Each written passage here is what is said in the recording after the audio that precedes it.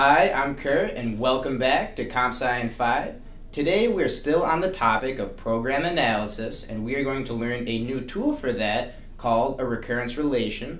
A recurrence relation is used to describe a recursive function. A recursive function is very simply put a method or function that calls itself during its sequence of instructions, and they all have one thing in common they approach a base case so that the program ends. To represent that in mathematical terms, we have this recurrence relation up on the board. Things to note is the base case, so t of 1 equals some constant. This is when you get that constant time operation, the program will end.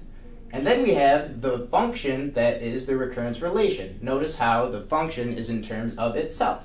So we have up here t of n is equal to 4t n over 4 plus n.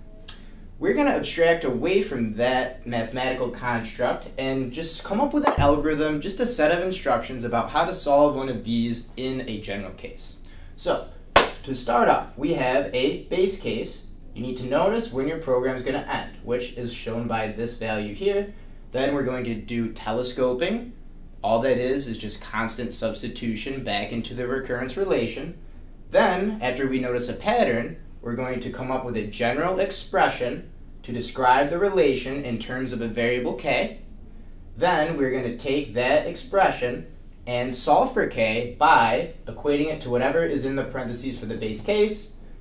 Next, we're going to take our value of k that we just solved for, plug it into the equation, the general expression that we came up with, and then we're going to do big O analysis on that expression to come up with a big O or an upper bound for the entire program. All right, let's get started.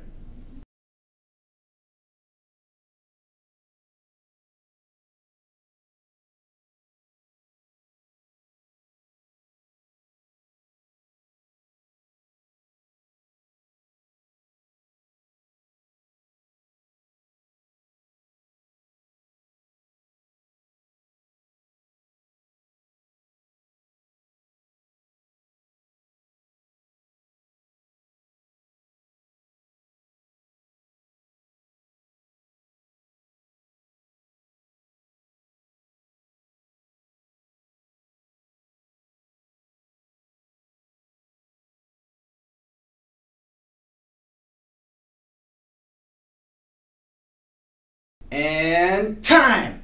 Whew, man, I, I'm sorry, I'm a little out of breath.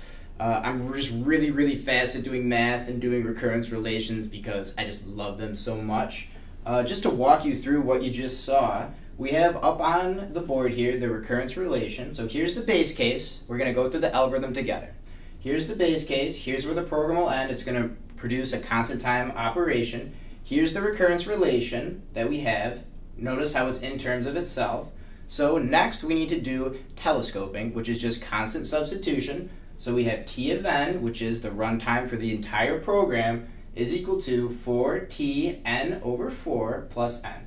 This is the part that we want to substitute in with telescoping. How do you do it? You expand it out with this recurrence relation. So we'll jump over here, and here we have t n over 4. So every time you see n, you plug in n over 4. So for example, it would be 4t n over 4, where this n is, over 4, which gives you n over 4 squared plus n over 4. Don't forget to do it at the last step, it's very important. Then we're going to plug all of this back in to here and get this expression. I like using brackets to make it obvious. We're going to do some math. We're going to keep the exponent here. Don't write 16, write 4 squared so you can see the pattern. Then we have t n over 4 squared. Notice how we have a 4 multiplied by n over 4, which produces an n. n plus n is 2n. Great. Let's telescope again. So we have here, we take it over there, we run it through a recurrence relation. We get 4t n over 4 cubed, because remember, it's over 4 when you plug in n, plus n over 4 squared. We plug it back into this box. We have 4 squared. We run it through with our math. We'll take it to 4 cubed then this is going to be 4 squared times 4 squared with the denominator, cancels out to n, n plus 2n, 3n. At this point, your brain should be going like, dude, there's a pattern here. Look, they're all threes. So why don't we just replace them with some variable k, which we do. At that point in our algorithm, we've done telescoping and we've come up with a general expression to describe the recurrence relation in terms of k. Now we need to solve for k with the base case here. 1 is equal to n over 4 to the k. We do some math. We get k equal to log 4 of n. So now we need to plug in our value of k into our general expression according to our algorithm, which we get over here. Notice how here we have n over 4 to the log base 4 of n. It becomes t of 1. That's our base case. Great, the program is going to end. Produces a constant plus log base 4 n to the n.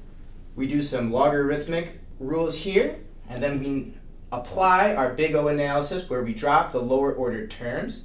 One thing to know, log base 4 of 4, 4 to the 1 equals 4, therefore it's 1, so we can cut the n, and the whole program is big O of log base 4 n of n. Awesome.